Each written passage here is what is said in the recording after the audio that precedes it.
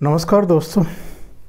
पिछले एक सप्ताह से देश में जो वातावरण बनाया गया है और जिस तरीके से कश्मीर की तर्ज पर जगह जगह पत्थरबाजी हो रही है, आगजनी हो रही है, जनजीवन को अस्त व्यस्त करने की कोशिश की जा रही है तरह तरह के भ्रम फैलाने की कोशिश हो रही है और इस आग पर पानी डालने के बजाय जिस तरह से बयानों के रूप में पेट्रोल छिड़का जा रहा है, घी डालने की कोशिश हो रही है, इसे और भड़काने की कोशिश हो रही है, इसके पीछे जो लोग हैं, वो बहुत हद तक अब सरकार के साथ साथ देश के लोगों की समझ में भी आ गए हैं।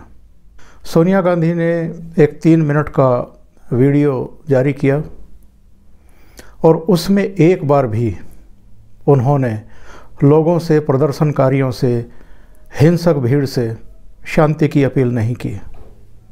संयम बरतने के लिए नहीं कहा, बल्कि उल्टे मोदी सरकार पर गंभीर किस्म के आरोप लगाए कि वो क्रूरता से विरोधी आवाज़ों को कुचल रही है, उनका दमन कर रही है। प्रश्न ये है कि क्या वाकई विरोध को कुचला जा रहा है? या विरोध के नाम पर लोग कानून को अपने हाथ में लेकर हिंसा पर, आगजनी पर उतारू हैं, पथराव पर उतारू हैं?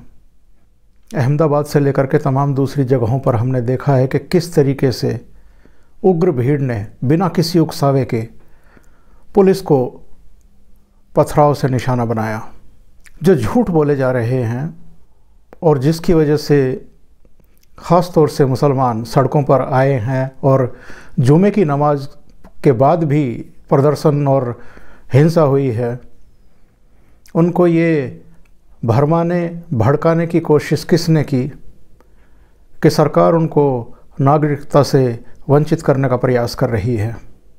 ये इतना बड़ा झूठ कौन फैला रहा है? कांग्रेसी, वामपंथी और कुछ ऐसे संगठन जो भारत में अमन नहीं चाहते, विकास नहीं चाहते, ना तो नागरिकता संशोधन कानून में और ना ही राष्ट्रीयता नागरिक रजिस्टर में ऐसा कोई प्रावधान है, ऐसी कोई व्यवस्था है कि इस देश के नागरिक मुसलमानों को उनकी नागरिकता से वंचित किया जा सके? और ऐसा कोई कर भी नहीं सकता है, कोई सरकार भी नहीं कर सकती है।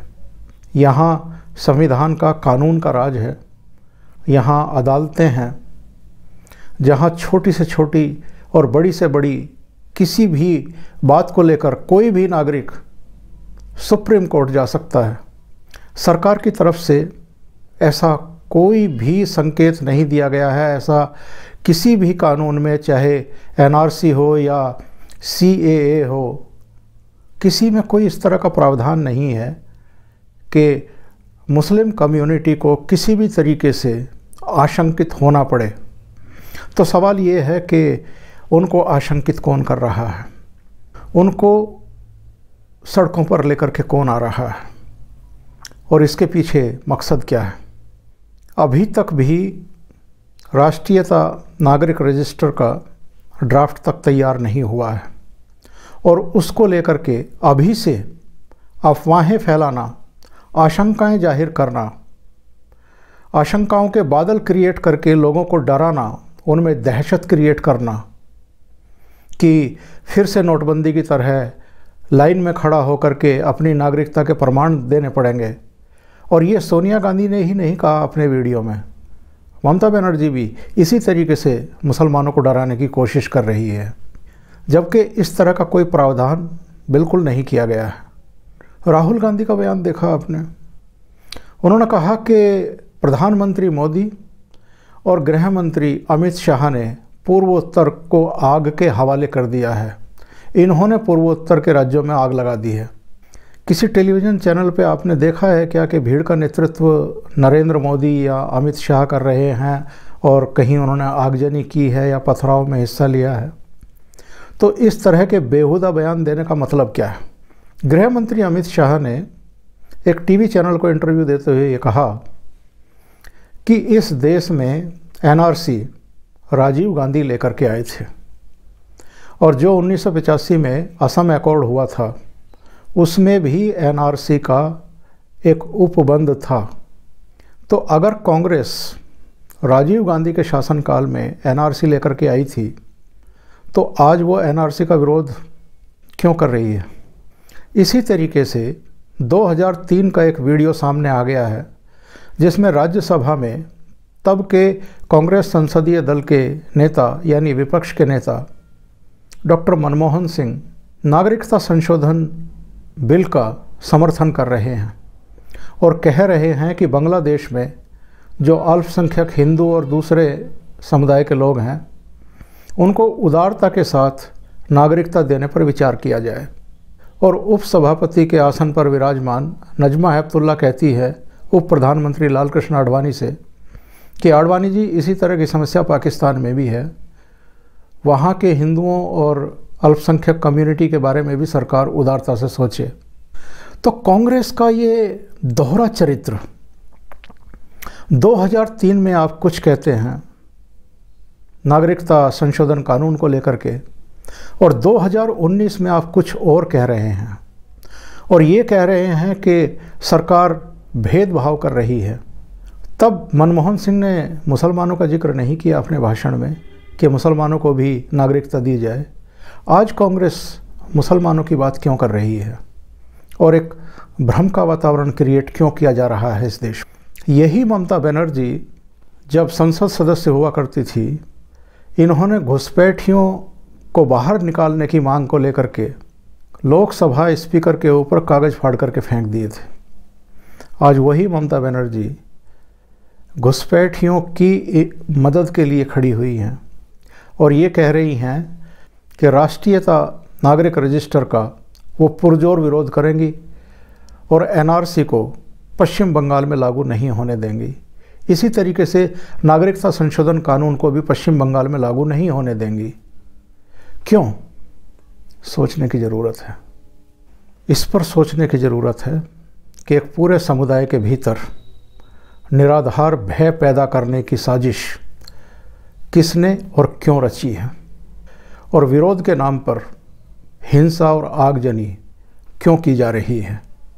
हिंसा की निंदा करने के बजाय उसे और उकसाने की कोशिश क्यों की जा रही है? और जिन दलों के लिए देश की एकता और अखंडता सर्वोच्च स्थान पर होनी चाहिए।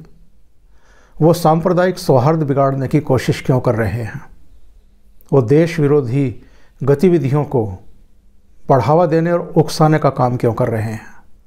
और ये झूठ क्यों फैला रहे हैं कि विरोध की आवाज़ों को कुचलने की कोशिश की जा रही है? जबकि हकीकत ये है कि जहाँ जहाँ इस तरह के प्रदर्शन हुए हैं, उनको इजाज़त दी गई है।